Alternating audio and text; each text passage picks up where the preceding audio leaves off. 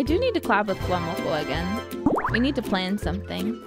I miss those two. I mean, we see each other every week in the Advent collab, so it's hard to say that I miss them, I suppose. But I miss. I want to spend some time with my FuwaMoco baby girls. I need. I need to harass Mococo's tummy. Harass specifically? Yes. She look. She won't let me touch her tail. That's fine. She won't let me touch her ears. That's fine. However, I'll be damned if she doesn't let me touch her belly button. I will I will stick my pinky finger in there.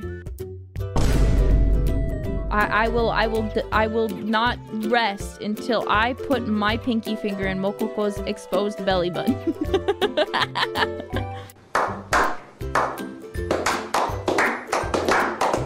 that is that is my requirement. Good luck, thank you. I appreciate it. Please cheer me on. Please cheer me on on my quest to touch uh, Mococo's belly button. We're moving now.